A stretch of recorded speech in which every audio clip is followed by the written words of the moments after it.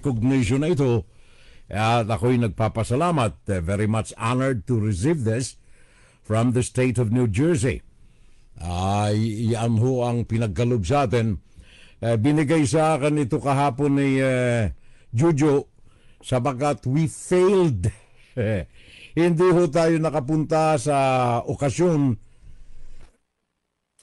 na supposed to be ako ang mag-host, ako ang mag-MC dahilan sa health reasons ay hindi tayo uh, nakapunta roon. Kaya kahapon ipinagkalob ito sa akin ni Juju. Uh, sabi niya, sorpresa sana ito sa iyo. Uh, kung nag-host ka sa amin, susurpresahin ka sana namin ito. Uh, recognition from the state of New Jersey sa mga nagagawa natin sa Filipino-American community dito sa New Jersey. Sabi rito, eh, marami itong whereas-whereas eh eh, lagay na lang natin itong isa. Whereas, with the unwavering support of Fiorello Salvo, another PAFCOM has uh, strived to preserve Filipino heritage to keep Filipinos connected to their homeland Philippines as they emulate into a broader global society and to foster positive relationships between the Filipinos and the Americans and other ethnic groups in the community.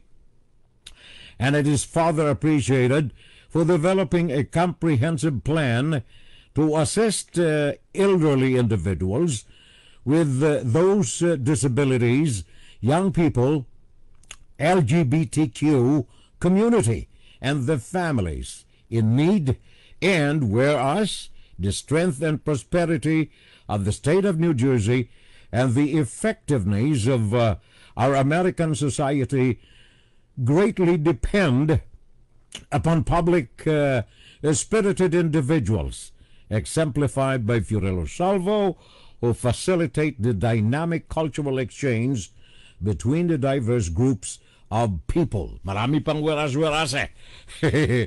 Yun lang muna. Thank you very much to the state of New Jersey. Thank you for the recognition. I am humbled by this. And uh, I feel I am not deserving, but uh, thank you anyway. Maraming salamat to the state of New Jersey. By the way, ito'y permado pala ni na uh, joint legislative resolution by the Senate and General Assembly of the state of New Jersey. Uh, Senator McCurshey and McKnight and then Assemblyman Allen, Assemblywoman Ramirez, and McCann Stamato, and Assemblyman Samson the fourth. Thank you. Salamat po sa kanila. Uh, President of the Senate, ang signature Nicholas Scuteri.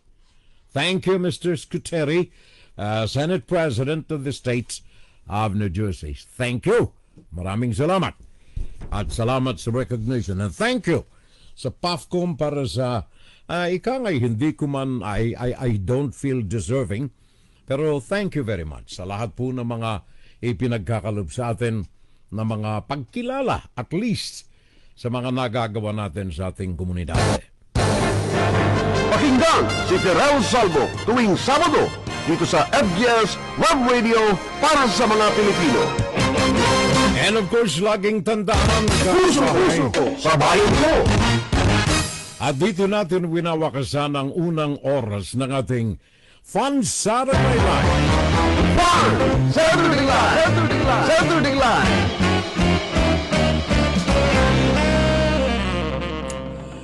Nasa ikalawang bahagi tayo ng ating uh, FSL mga kababayan. At dito natin ilalantad ang lahat ng mga pagdurusa ng ating kaisipan na maliwanagan sa magitan ng research, paghalungkat uh, sa mga tala that I feel deserving na malaman ng ating mga mamamayang mga Pilipino. Inside, Guru-Guru, Opinion, and Saturday Live. Ang ating paksa ngayong araw na ito mga giliw kong mga kababayang mga Pilipino. Sabagat ito ay buwan ng mga kasalan. June eh. Kaya very proud tayo na June bride tayo, June bride. Ako hindi, April ako eh. June bride, June bride. Yun ang sabi kasi ni Cupido na itatag na araw ng mga ubuan ng mga kasal.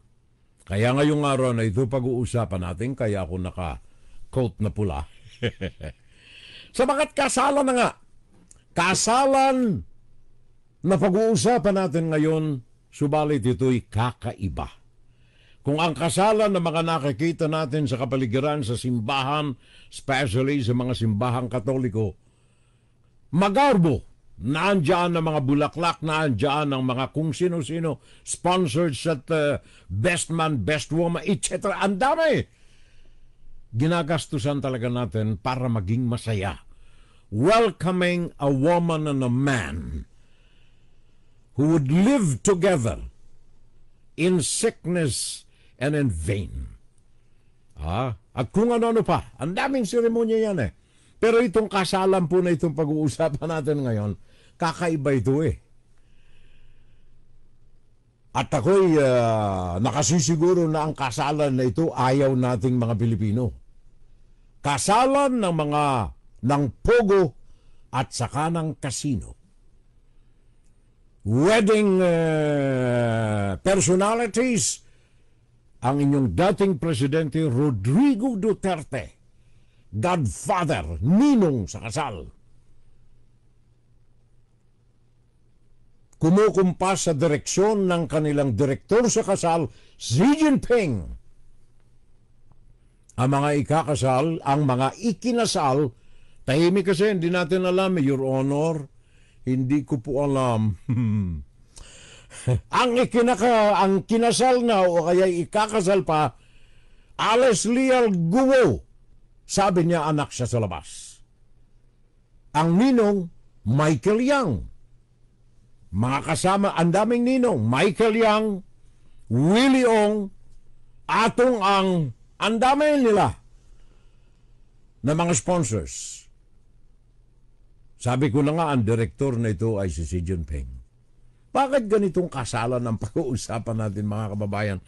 Of all the weddings, bakit itong kasalan na ito ang pag-uusapan natin? Bakit? Sabakat, ito pong pogo at saka ang kasino ay siyang salot na nagdudulot sa atin sa kasalukuyan ng grabing pagdurusa at saka paghihirap. Salot na nagdudulot ng pagdurusa at saka ng paghihirap. Eh bakit si uh, Rodrigo Duterte ang ninong? Well, ayon dito sa mga tala ng mga nakalap natin mga kababayan kasi, etong uh, unahin natin itong Pogo. Well, yung uh, casino, medyo matagal na ito eh. Nagsimula ang casino 1977 sa panahon ni uh, Ferdinand Marcos Sr. Binuksan ang casino. Pero yung casino at that time and even late before the uh, the period of uh, Rodrigo Duterte, ang casino was so low in activities as far as the media is concerned. Wala tayong mga nababalita ang mga alingas-ngas, alingasaw sa casino.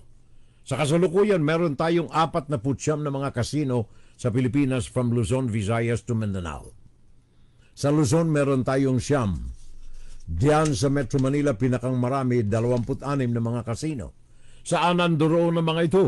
Naandyan sa mga five-star hotels, Soler, at kung uh, saan saan pa. Ang dami nila.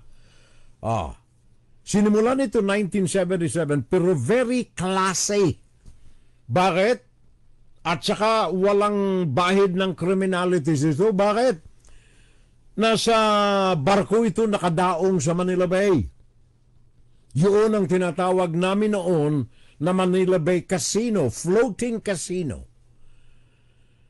No less than people from Malacanang ang mga naandyan naglalamyar na. Class casino. Hanggang ngayon ay uh, naandyan ito, uh, kumikita. Sabi nga nitong uh, mga operators ng casino, kaya halos hindi magalaw-galaw ito ng gobyerno because isa ito sa mga money earning sources ng ating national government. 6 billion ang kinikita ng gobyerno ng Pilipinas dito sa casino. 6 billion.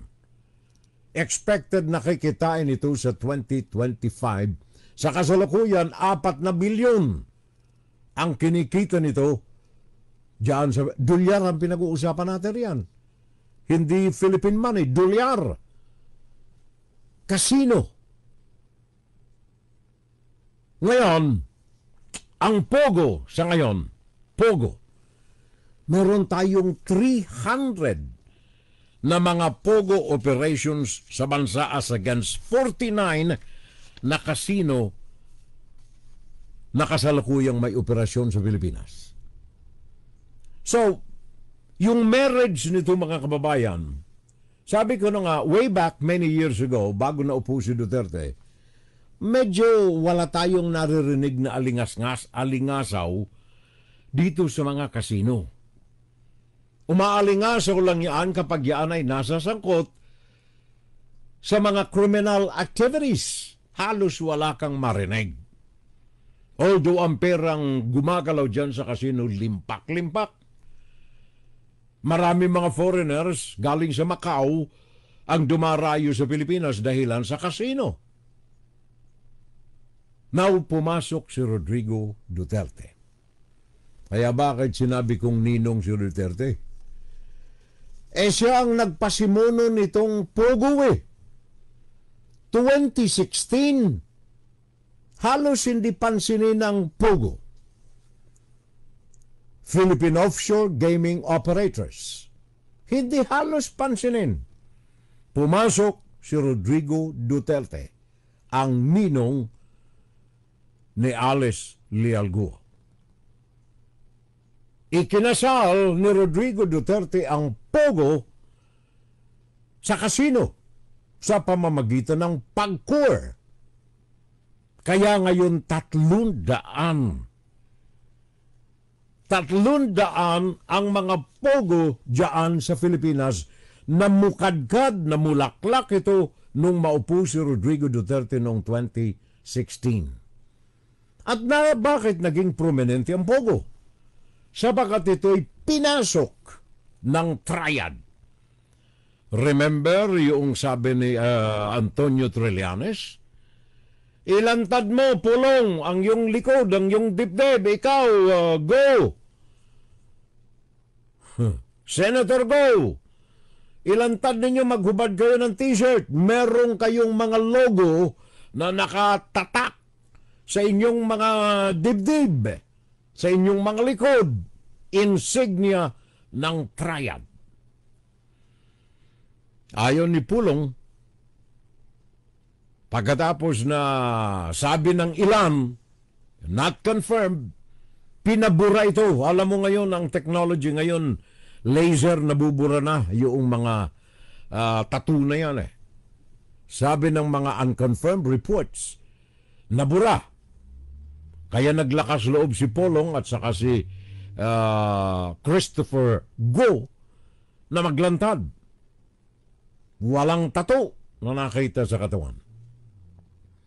Ang katotohanan on the record, dahilan sa pag-upo ni Rodrigo Duterte bilang presidente ng Pilipinas, binuksan ang pintuan ng Pilipinas sa mga criminal elements at sa triad. Ngayon, ano ang koneksyon ng China dito sa triad? Ano ang koneksyon ng China dito sa mga criminal elements? Kumpirmado ito maging ng uh, uh, United States Intelligence na ang China ay gumagamit ng mga criminal elements kagaya ng Chinese Triad. Ang Chinese Triad ay Macau, uh, Myanmar at saka China. Uh, miyembro ang miyembro nito ay purely halos mga uh, Chinese. Ito ang triad ay uh, involved sa iba't ibang klase ng mga criminal activities. Nagsimula lamang ito sa droga. Yan ang unang-una. Wala pa yung internet, wala pa yung online gambling. nagsimula sa droga ang Chinese Triad. In fact, ang istorya, ang kasaysayan ng Triad, originally ito ay mga defenders. Maganda ang ob- objektibo ng Triad before sa kasaysayan ng China. Ito'y mga taga-depensa, taga-protekta ng Qing Dynasty ng mainland China. Kaya lamang sa evolution ng panahon, na wala sa pwesto ang Qing Dynasty, nagkawatak-watak yung mga defensor nito, particularly ang Triad. Walang pera, walang sustinay sa kanila, natuto na pumasok sa underground activities. Droga. Nakipag ah, transaksyon sa Mexican cartel, ngayon sa Asia, ang droga pinamamahagi ng Triad. Chinese Triad, Myanmar, uh, Macau, China. Nang uh, maupo si Duterte sa Pilipinas, nabuksan ang Pilipinas ng operasyon ng Triad. At lalong lumago ito, kaya nga ba't yung mga droga-droga riyan, yung mga tukhang-tukhang na ngayon, eh pangtakip lamang yan. Pangtakip sa tunay na adikain, tunay na nangyayari sa underworld dyan sa Pilipinas. Simula nang maupo si Rodrigo Duterte. Kaya hanggang ngayon, milyon-bilyon ng halaga ng pag-ikot ng droga riyan sa Pilipinas. Remember, mga pangalan na ito, atong ang Willie Ong. ah. Ha. Michael Young. Droga. Pero ngayon na magkaroon ng uh, paglaganap ang internet. Balikan natin itong casino. During those times na hindi pa kilala ang uh, internet gambling, ang casino was confined sa uh, physical attendance ng mga casino players. Casino. Wala pa. Kaya nga what uh, halos ay walang mga sindikato ng kriminal na napapasok nung araw sa casino. But the advent of internet, yung ilang mga casino dealers nagsubok na gawin ang casino operation online. Remember, mga 1980s, nagkaroon tayo ng mga 1990s, and then 2000 most especially. Nakita natin na ba? Pwede pala ang casino online eh. So, sinimula ng casino. Diyan ngayon pinanganak ang Pogo ng Pilipinas. Bakit? Operasyon ng Triad. Nakita nila na hindi pala lang droga ang pwede nating inegosyo online, kundi casino online. Kaya yung Triad and then other criminal gangs activities nagsimula ng online casino. Yun ang Pogo sa Pilipinas. Philippine Offshore and Gaming Operators. 300 operational. Ngayon daw ay hindi na 300. 75 na lang. Sabi ng PAGCOR.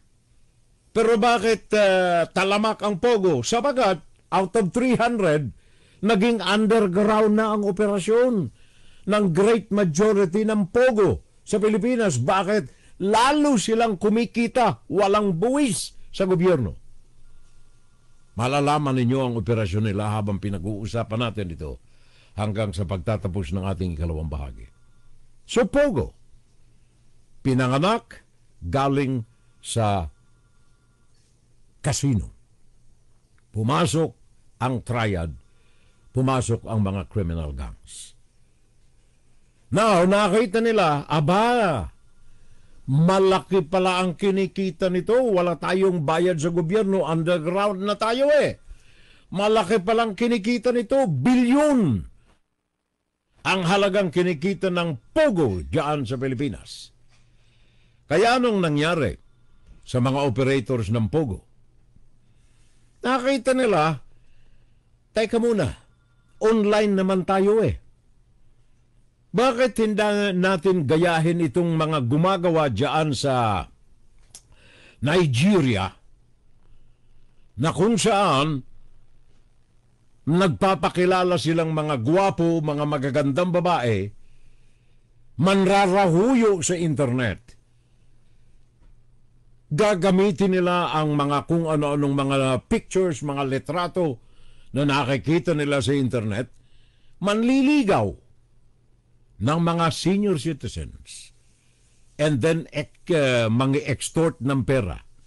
Merong pamana sa akin diyan sa Hong Kong kasi kiki, uh, may mga dokumento na eh. Ito nga hawak ko ng mga dokumento eh. Isasalin sa akin 50 million dollars. Kaya lamang kailangan pumunta ako ng Hong Kong. Pwede bang pahiramin mo ako? Kuha na yan ha, nakapanligaw na. Taga Nigeria.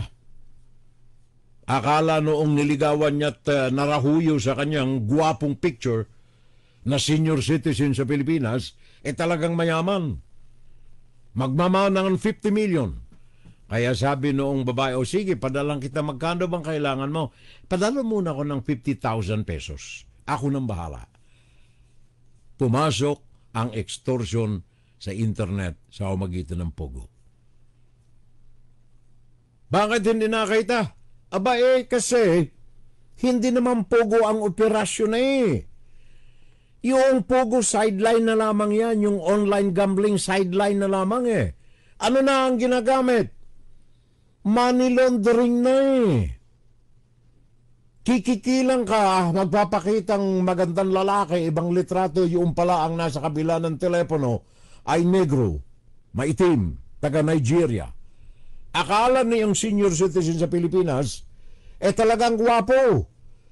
Eh 50 anyos na yung senior, 60 years old na. Kailangan niyang may makasama sa buhay. May hangmak hawak sa uh, litrato ng magandang lalaki. Ito na ang aking Adonis. Bigay na ng pera. Money laundering. Cybercrime.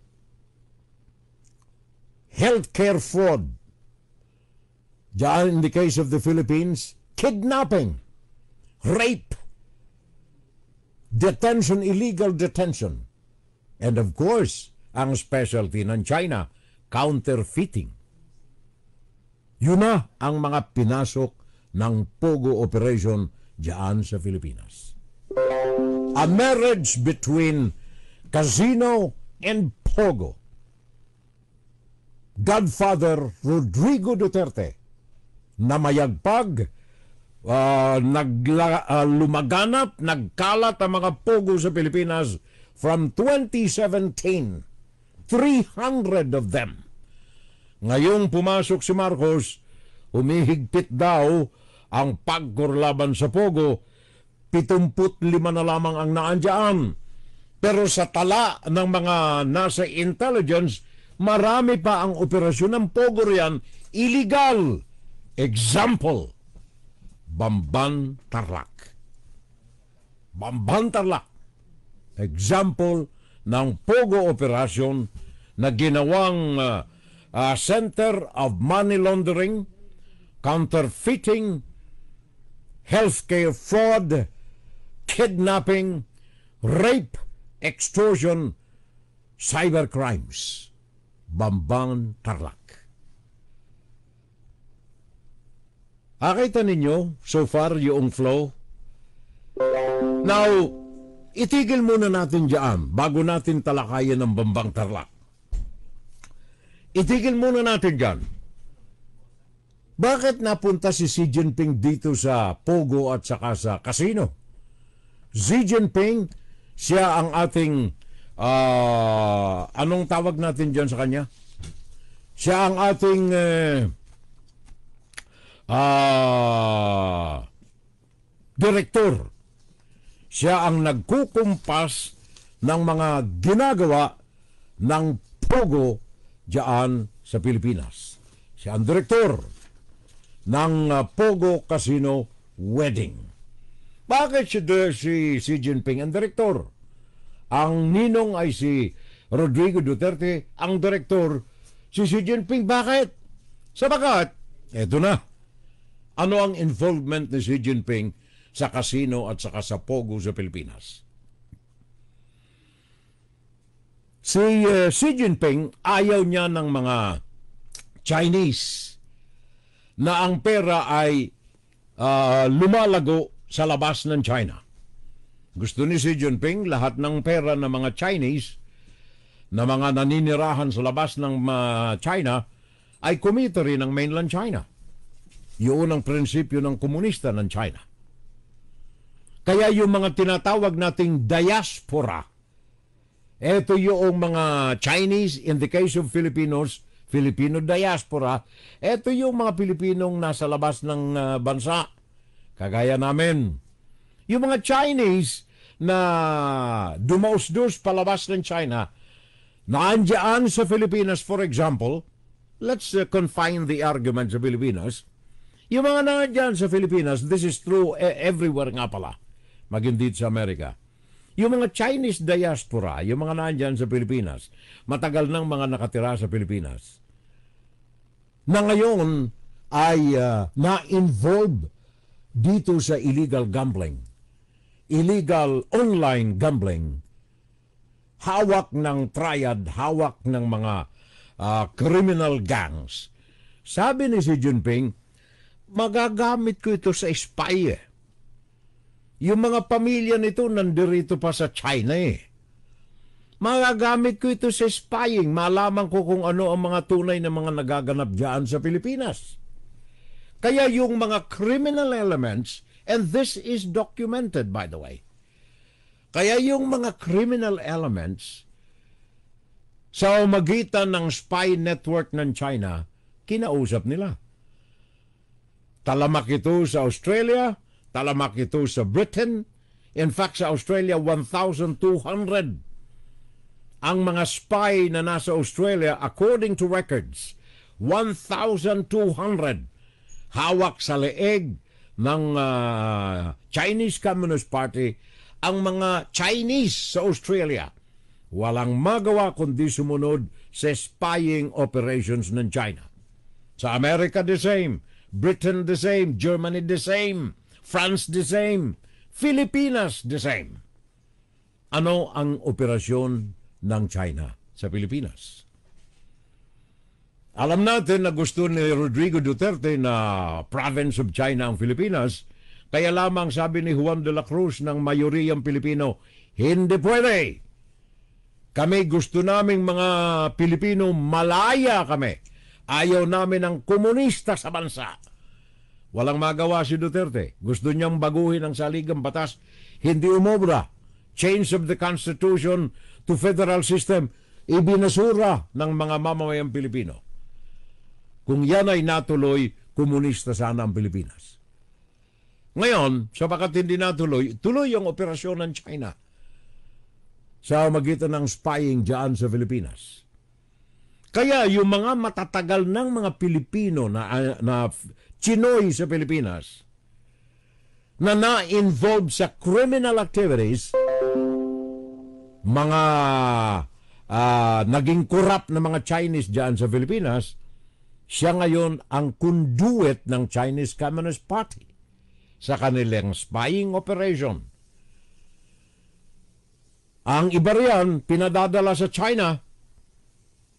Punta ka doon sa Beijing, mag-aral ka ng Tagalog. May mga universities dyan sa Beijing na ang ah, system of education ay itinuturo sa Tagalog, wikang Tagalog dyan sa Beijing. Tagalog. Ang mga estudyante, prospective spies sa Pilipinas. Saan galing? Ito'y mga anak ng mga Chinese na nakatira sa Pilipinas ng matagal na na na-involve sa mga criminal activities ng triad at ng mga criminal gangs na ngayon ay ginagamit ng China. Mag-spy ka, ito ang gagawin mo. Bubusbusan ka namin ng pera, ito ang gagawin mo. Huwag kang magkakamali na ah, sabihin na ikaw ay spy, huwag kang magkakamali na hindi sumunod sa amin. Sa wakat ang pamilya mo na nandirito sa China ay parurusahan namin, ikukulong namin sa concentration camp. Yun ang operasyon ng Chinese Communist Party. Yan ang hindi maiwaglit-waglit na obligasyon ng triad at ng mga criminal gang sa Pilipinas ang link sa Chinese Communist Party. Fully documented yan, mga kababayan ko. Kaya yung link ng casino sa Pogo nagdiskaril sa operasyon ng high class na mga kasino sa bansa. Pinasok ang Pogo, nagkaroon ng link. Kaya ngayon eh, operasyon money laundering. Siguro yun ang tanong kung bakit 6.1 billion na almost 8 hectares ni uh, Alice Leal Go na itayo ang kanyang compound diyan sa Baofu Incorporated.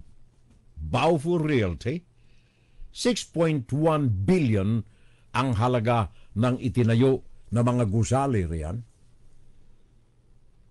Saan galing ang pera? Your Honor, hindi ko po malaman kung ano po ang uh, aking pangalan. Hmm. So kung titingnan ninyo mga kababayan ko, ano ha? Kasalan na naganap, Pogo Casino. Pumasok si Rodrigo Duterte, naging ninong. Binuksan ang mga pintuan ng Pilipinas sa Chinese Communist Party. Siya mismo umamin, ako ay sosyalista ako eh. Makakaliwa ako eh. Humingi pa nga ako ng basbas ni uh, Joe Masison eh. Bago ako naupo bilang presidente. At pinangako ko na magkakaroon ng coalition ang China, ang uh, Communist Party ng Pilipinas sa aking gobyerno.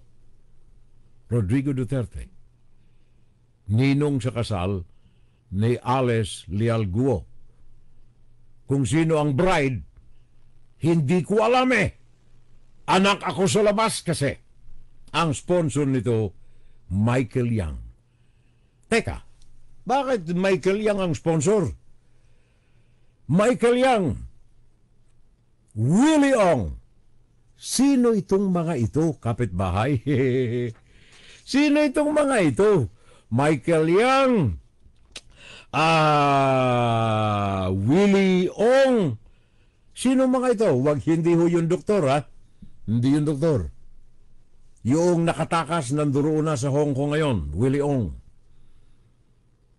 Ano ang koneksyon ng mga ito sa triad? Ano ang koneksyon ito sa mga criminal elements? Anong koneksyon sa Pogo? At anong ginagawa ng PAGCOR? Well, mamaya pag-uusapan natin ang bahagi ng gobyerno. At dito muna tayo. Michael Yang muna tayo. Sabi ng uh, hearing sa Kongreso, iniimbitahan nila si Michael Yang, that was in May 21, 2024, sa issue ng uh, droga. Chinese businessman Michael Yang, an economic advisor of former President Rodrigo Duterte. ah, tinawagan siya ng Kongreso, iba nais ng Kongreso maliwanagan sa kanya kung ano ang kanyang koneksyon dito sa 560 kilos of shabu sa isang warehouse sa Mexico, Pampanga na nasa kote ng mga otoridad September of last year. Hindi sumipot. Involved money 3.6 billion pesos ayon sa NBI at sa PDEA. Hindi sumipot. Pumasok yung abogado, sabi ng abogado eh, na hirang lang ho kami na kumatawan kay Michael Young. Sabi ng Kongreso, sabi ni Barbers, ay hindi pwede, kailangan siya siya ang kailangang sumagot sa mga gusto naming maliwanagan eh. Mga uh, properties nito at ang pagkakasangkot sa Empire 999 na pag-aari ni Willie Ong na konektado naman kay Michael Young. Wala na ito. Willie wala na rin. Nasa labas na. Pero nakapag-may-ari ito ng sandamakmak na properties, 300 of them diyan sa Pilipinas. Bakit nakapag-may-ari ang mga ito na pure-blooded Chinese? Pumunta ka sa Clark, sa uh, Pampanga, pumunta ka sa Tarlac, namamayagpag ang pangalan ng dalawang ito. May-ari sila ng sandamakmak na mga properties ng mga Pilipino riyan nasa kanila ng mga pangalan. Bakit nagkaroon ng mga pangalan ng mga ito sa mga properties naka-acquire ng mga properties diyan sa Benondo, diyan sa Metro Manila, diyan sa Pampanga, diyan sa Tarlac? Siya ba ang nag-finance nitong Baufo 6.1 billion na pag-aari ni uh, Alice Leal Guo? Your Honor, hindi ko po talaga matandaan. Ayoko po sanang sabihin na I don't know, pero talagang hindi ko po matandaan. Naalala ko tuloy si uh, uh, Chis Escudero. Ano yung sabi ni Chis Escudero sa yung uh, uh, ayan, pakinggan natin ito. Ha? Isisingit ko lamang ito sabagat this is very important. Yung pahayag ni Chis Escudero sabagat dito lumalabas na parang dumidefensa siya sa mga kaalwalang, kaala, kaaliwaswasan na nagaganap particularly kay Alice Leal Guo. Pakinggan natin si Francis Escudero. Hindi pwedeng, ah, hindi namin alam kung sino, kaya siguro Amerikano yan. Ah, hindi namin alam kung sino yung nanay, yung tatay, um, Chinese, o Chinese siguro yan. There's a basic principle in law. He who alleges must prove the same. Yung nag-allege na hindi, dapat patunayan. Kung mapatunayan, hindi dapat tanggalin. Let me say it this way. The burden of proof is on those saying she's not. Tama naman yan eh. Agree ako riyan. I'm not a lawyer. Yeah, hindi ako abogado. Pero tama naman talaga yan eh. Ang burden of proof nasa kamay na nag-aakusa. Pero ang pagkakamali dito ni uh, Chis Escudero, kung isasabit niya ang pangalan dito ni Alice uh, Leal Guo, na sapagat abogado nga siya, ayaw niyang bangkitin ito eh. Mati technical siya ron eh. Pero kung ang sinasabi natin ditong pinag-uusapan natin, ang Senate hearing ni Risa Honteveros at ni uh, uh, Wim Gatchalian, hindi angkop itong sinabi na ito na ang burden of proof ay sa mga nag-aakusa, the accusing persons. Eh ang Senado hindi ho nag-aakusa. ang nag-aakusa yung mga tao na nandoon sa korte. Magsasangat ng kaso, uh, for example, kay uh, Alice Lialguo, kunyari yung ombudsman sa magitan ng Department of Justice uh, ay gustong magkaso bilang public official, yun ang mag-aakusa. Sila ang dapat na magbigay ng mga papeles na magpapatunay sa kanilang akusasyon. But in the case of the Senate, the Senate investigators, kaya nga investigator hindi sila nag-aakusa. Sila ay nagbubulatlat ng mga ebidensya na maaaring gamitin ng mga taong mag-aakusa labang kay Alice Lialguo. At sa parte ng Senado, sila naman in aid of legislation. So, liniliwanag ko lang yan ha. Eh, marami kasi riyan na mga maging mga vloggers, maging mga in fact may mga journalist akong napapanood diyan sa YouTube uh, uh, full-fledged na mga journalist yan ha, mainstream media. Ang uh, uh, mali ang interpretasyon dito kay uh, uh, Chess Escudero. Nililiwanag ko lang yan na ang Senado sabi nga ng uh, ng batas there is always uh, an exception to the rule.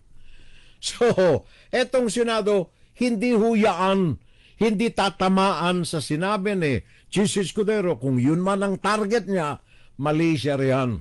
Ang Senado, hindi nag-aakusa. Ang mga ito at this time ay pumapapel na mga investigators nangangalap ng mga ebidensya. Dito kay uh, Mr. Uh, uh, Senator, I don't know, hindi ko po alam.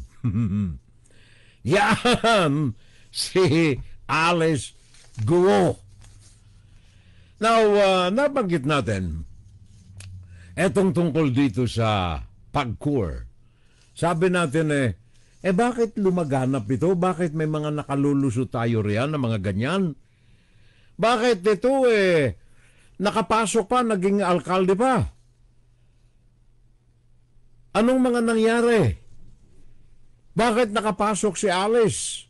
Out of nowhere, ayon sa kasalukuyang investigasyon ng Senado. Out of nowhere, naging politiko. Saan galing yung 6.1 billion na funding? Yun ang iniimbestigahan ng Senado. Now, uh, lumaganap itong ating uh, mga criminal activities dahilan sa Pogo. Uh, siguro kung may panahon tayo mamaya, paririnig ko sa inyo yung mga audios ng iba't ibang mga ginagawa sa kapaligiran, pagkakabuyang-yang ng mga activities ng Pogo na ito. But meantime, pinag-uusapan natin itong mga detalye po na ito. For example, bakit, ang tanong natin, lumalaganap itong Pogo? Yung criminal activities ng Pogo. Naalala ko tuloy uli si Chis Escudero. Pakinggan natin ito sapagat dito natin ibabatay ang susunod nating eh, usapan dito. Why we are discovering a lot of criminals pero wala tayong, I mean, uh, many crimes pero walang criminals. Pakinggan natin.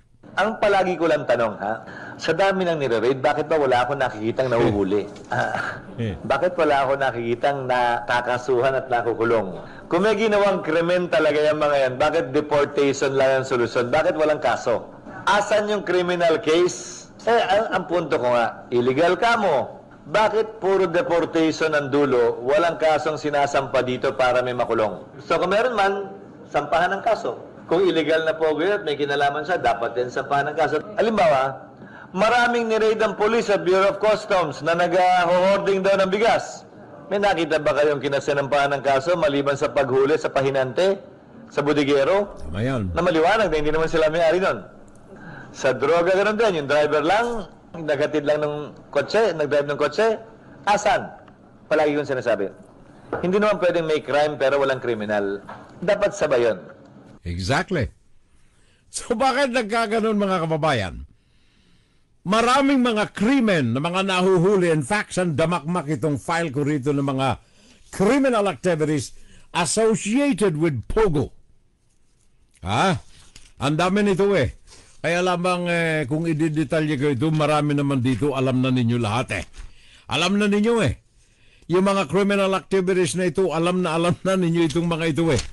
Kaya siguro eh, i- lampasan laktawan muna natin. Ang tanong natin, tanong ni eh, eh, Escudero, bakit maraming mga krimeng nagaganap pero wala mga nga kriminal?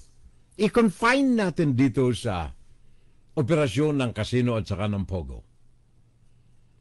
Sabi ko na nga kanina, ah, ang dami na mga Pogo operators ngayon ay nasa 70s na lamang ang mga operasyon. Bakit? Nasa kwan eh, under the radar na bakit sapagat ito'y wala ng mga lisensya pero ang mga ito'y tuloy pa rin sa kanilang operasyon. Bakit? Sapagat marami tayong mga pepe, marami tayong mga bulag, marami tayong bingi. Sa atin na mga mamamayang Pilipino at lalo tigit sa gobyerno. Bakit? Criminal elements in Pogo and Casino. Sino ang mga dapat na nagmamanman dito? Naandyan ang NBI, naandyan ang National Bureau of Investigation, naandyan ang PAGCOR. Unahin natin ang NBI. Di ba kapag kayo ay papasok ng Pilipinas, gagawa kayo ng negosyo, maraming mga clearances na hinihingi ang NBI. Hahanap ka nga lang ng trabaho sa damakmak na clearances ang hinihingi sa iyo eh. Bakit nakapapasok dito ang mga criminal elements? Bureau of Immigration. Naalala ko tuloy yung pastillas. Pastillas di honor. And then, eh,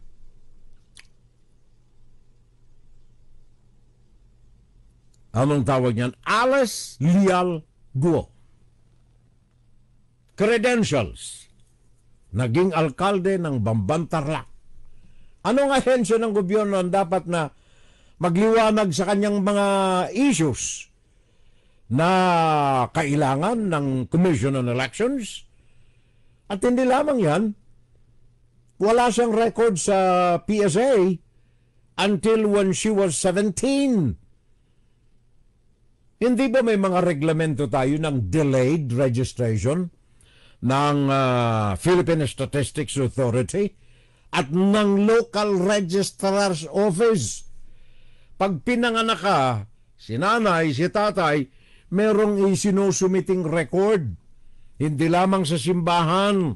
Kung katoliko ka, may record sa simbahan. Meron tayong baptismal, meron tayong confirmation record sa simbahan. Ngayon, in the case of uh, Alice Leal Guo, sumulpot na lamang ito buhat sa hangin. 17 years old, pumunta sa tangkapan ng PSA, nagsumiti ng birth certificate. Nakakita na ang uh, mga nasa PSA, hindi mukhang Pilipino ito eh. Ah, dapat nagkaroon ng investigasyon. Ang tawag sa amin dyan sa real estate, due diligence hanaping maigi, medyo extra careful sa pagtanggap. Bakit? Lalo pa mukhang inchik ito, ang China ang sentro ng mga peke. O, hindi ba? Diyan nahawa ang uh, recto eh.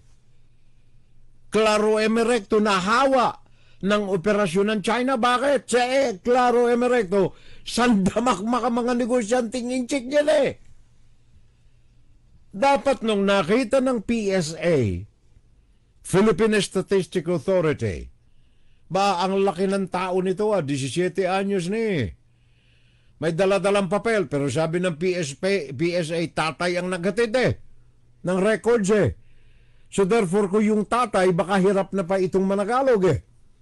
At sa itsura ng tatay hindi mo mapagkakamala na Pilipino ito kahit santamang ting. Inchik na inchik yung tatay sa pangalan, sa kilos gawa. Dapat medyo yung PSA may ginawang pananaliksik, due diligence. O baka naman ito ay another branch ng pastillas. Di ba? pastillas! Naalala ninyo yung lumabas sa YouTube uh, one time, long time ago?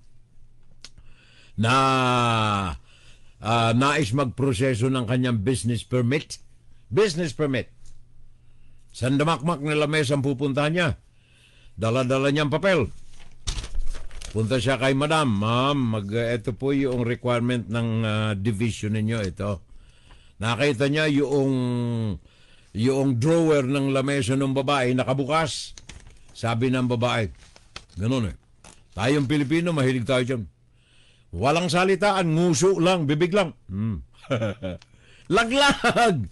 Yun ba ang nangyayari sa PSA? Nagtatanong kami. Ah, nagtatanong kami sabakat sabi nga ni Dr. Winston John Casio ng PAOK. Ha? Ng PAOK. Sabi niya, eto, pakinggan ninyo. Dito sa kaso ni uh, Amelia Leal Guo. according to the allegation of the victim, Danny, was this. Nung siya ay nakatakas, a few days later, allegedly, some members of the police, I don't know saan galing yung police. Sabi niya may mga police na dumating, and he was being asked to sign an uh, affidavit of undertaking. Basically, an affidavit of resistance. Supposedly, he left the compound on his own volition and he uh, supposedly was willing to go home to Vietnam and so on and so forth and that he was not maltreated in any way inside Sunyuan. Nung sinabi ni ano yon ni, ni Danny, anong Vietnamese national, sabi namin, teka sandali, medyo parang may hindi tama. And Danny gave us a copy of the document.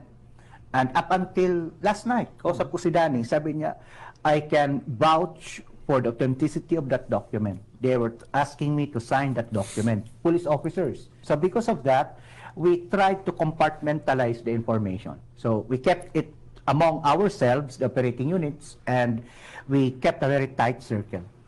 Yan si Dr. Winston John Casio ng PAOK. Um, yung Presidential Investigation Officer ito eh. Sino si Dani? ito yung naging mitsa ng pagkakadiskubre ng mga illegal activities sa loob ng Baofu Compound alias Dane Vietnamese uh, nakatakas tumalon sa loob ng uh, compound 6.1 billion na halaga ng compound pinamumugaran ng mga villas na milyon-milyon ang halaga na kung saan ang pinakang pinuno ng operasyon na ito nakatakas using the underground tunnel. Dane, nakatakas, pumunta sa pulisya. Ah, pumunta muna sa pare pala, sa pare. Kinupkup ng pare. Tapos eh, walang kaabog-abog pumunta yung mga sundal, ang mga pulis, PNP. Pinapipirma siya. Parang sinasabi na hindi siya tumakas, eh, ah, ah, parang wala lang lumabas sa compound, gusto niya nang umuwi, etc. Anong naaamoy ninyo riyan? Bakit pumunta yung mga pulis? Kasi yung pulis baka binayaran ng mga operators na ito dyan sa Baofu. Manahimik. Police, government agent, ha? Nais na iligtas ng masalakay yung Baofu compound. Sa makakita nyo riyan, mahaba pa sanang kasaysayan natin. But sa isang maiksing salita, government corruption, mga kababayan ko. Government corruption ang dahilan kung bakit meron tayong kasalan na naganap sa bagitan ng Pogo, ng Casino, meron tayong Rodrigo Duterte na naging ninong ng mga kagaya ni Alice Leal Go na may kapitalisasyon, hindi ito, uh, ito'y sinasabi lamang natin, reference point sa mga illegal na operasyon sa Pilipinas, may kapitalisasyon ng mga Michael Yang, mga Willie Ong, at maraming iba pa na mga kauri nito. Sino may sabi niyan? Triad Criminal Gang sa Pilipinas. Yan ay sabi ng United Nations Office on Drugs and Crime or UNODC. Ano ang sabi nila? Na yung casino operations ay lumipat na dyan sa Pilipinas. Research study ng United Nations Office on Drugs and Crimes. Ang casino operation lumipat sa Pilipinas at sa magitan ng maluwag na regulasyon ng gobyerno ni Rodrigo Duterte sa pamamagitan ng pagkor naglipana kumalat ang pogo sa Pilipinas na kasama nito ang mga criminal gangs at ang triad ng China. Kita ninyo? Nadamay pati yung uh, uh, Soler diyan sa Maynila sa Ross Boulevard. Nadamay. Bakit? Sabagat dahilan sa operasyon ng Pogo, may mga criminal activities na na nasilip ang ating uh, nasa international intelligence community na may operasyon sa mga uh, casino na rin dyan like Soler. And, and, and. Pakinggan ninyo ito.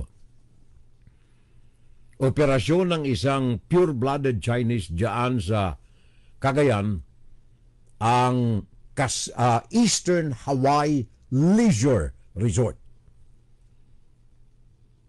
Yan ay casino. Pero tingnan ninyong maigi at baka may mga naka sasabit na riyan na mga illegal operations ng mga triad at ng mga criminal gangs. Ano yung sinabi ng, alam mo, meron ako ritong, saan ba yung, meron ako ritong nabasa, anong oras na ba natin? Meron ako ritong pinadala sa akin ng aking kaibigan na vlogger, nakabase ito dyan sa Hong Kong mga kababayan. Eh, hindi ko na ididetalye itong report ng, uh, ng UNODC. Mahaba ito eh. Pero ito report ng mga operasyon ng kasino riyan. Meron akong kaibigan dito na nakabase dyan sa Hong Kong sa China. At siya ay uh, may kaibigan na nandoon mismo nakatira sa Beijing. ang uh, naturang nakatirang uh, journalist sa Beijing, investigative vlogger. Nasa mainstream media siya sa Beijing, pero hindi na siya makapag-operate sa mainstream media sapagat uh, tinitiktika na siya. Nabisita na siya ng mga miyembro ng mga pulis at saka nakakamanman ang mga pulis sa kanyang buong pamilya. So meron siyang ginawang mga articles na may kaugnayan sa operasyon ng mga criminal elements diyan sa China na may operasyon sa Pilipinas. Uh, babasahin ko ito'y in toto, uh, pinasalin ko sa wikang uh, English sapagkat uh, yung kaibigan kong vlogger dyan sa Hong Kong ay pure-blooded Chinese. Uh, kasama ko sa organisasyon namin. Pinasalin ko sa wikang English pero dahilan sa ito'y literal na pagkakasalin yung kanyang English balik-balik. Uh, balubaluktot pero yung in essence basahin na lang ninyo I mean, uh, in between the lines ay i-picture ninyo ang ibig sabihin. Mahaba ito pero uh, iiksian ko na lamang. Yung una, sabi niya ha, salin sa wikang Ingles. The reality of Island Cove Pogo. Dating Rimulya ito, unang binanggit natin sa unang oras natin. The reality of Island Cove Pogo Hub in Cavite, Philippines, Triangle Headquarters in Philippines, under Golden Triangle Organized Crime and Chinese fraudsters mafia gang untouchable because of corruption in government in several years. Binabasa ko in toto. Eh, bahala na kayong mag-digest kung anong ibig sabihin. All crimes news block out because of fear from the brutal and notorious Pogo Triad operating in the Philippines. They all suffered in silence and no choice at all hostage in criminal syndicate in Pogo Hub in Philippines. Yan yung isang padala ng ating kaibigan babae ito na vlogger journalist diyan sa Beijing pinadala sa aking kaibigang Chinese at isinalin sa English, binasa ko in toto. Sinabi rito yung Island Cove Pogo Hub. Kaya nga ba't sabi ko kanina, huwag isasama ng loob ng mga rimulya. Especially na si uh, Justice Secretary rimulya rin. Dating may-ari ng Island Cove Resort. Bakit hindi natin sa ilalim ng ating kapangyarihan bilang nasa Department of Justice and for security, maintenance ng bansa, pwede tayong mag-utos sa NBI, can you do an inspection sa magitan ng POGO? Mean, ng uh, PAGCOR? Eh, para tingnan lang natin kung sumusunod sa batas ba etong POGO operasyon dyan sa Island Cove. Nakakita ninyo. Ah, galing ito sa mainland China. Another item. Ito mas baluktot pagkaka-English nito eh. In several years in Pogo operation in Philippines, huge numbers of kidnapping case and paid high ransom and brutally killed most cases news blackout because of corruption system in the Philippines. Where is the justice in the Philippines? All head dragon and mastermind in different crime never put in jail and deport only innocent victims and victims as collateral damage, ridiculous crime in Pogo, no justice, no human rights, purely money talk only in the Philippines. Kita na ninyo? Ang samang pakinggan, di ba? Ito'y lumalabas ito sa China. Ah, sabi niya pa, Hong Tai Park, Las Piñas. Ito yung uh, Pogo operation dyan dati ha. Hong Tai Park, Las Piñas. Under new management, President Zai Chung Yan and Chairman Kai Jianli is notorious and changed the history of Pogo and gambling become scam hub like Island Cove and Shuangma in Cavite in corporation with Killing Pig Zhu Guangtao, leader of kidnapping and a scammer and hacking uh, Black Freeman Mensah. Hindi ko maintindihan. Ito'y ginagawang ko pa ng dicer, I mean, uh, dissecting. Sabagat mahaba ito eh. Ala na tayong oras mga kababayan. Pinabot ko lamang sa inyo ang ilang mga data na ito. Sabagat uh, ang adikay natin pukawin ang ating gobyerno. Ito'y kung sincero si Mr. BBM at ang Department of Justice. Nais natin pukawin sila at kayo po, tayong mga mamamayan, especially tayong nasa FSL, if you see something, say something, talk, talk, talk. Huwag nating gayahin si Alice Leal Guo. Madam uh, Senator, I'm sorry po, hindi ko po alam. Huwag nating gayahin yan. Delikado ang buhay natin sa ganyan na mga kataga. Inside, Guro-Guro, Opinion, and Saturday Live. Ano ang sabi ng Transparency International? May singit ko lang bago natin wakasan ito ng tuluyan. Sabi ng Transparency International, World Bank at ng World Economic Forum, rampant government corruption due to the following in the Philippines. Influence market corruption, elite cartel corruption, specifically Chinese connection, and all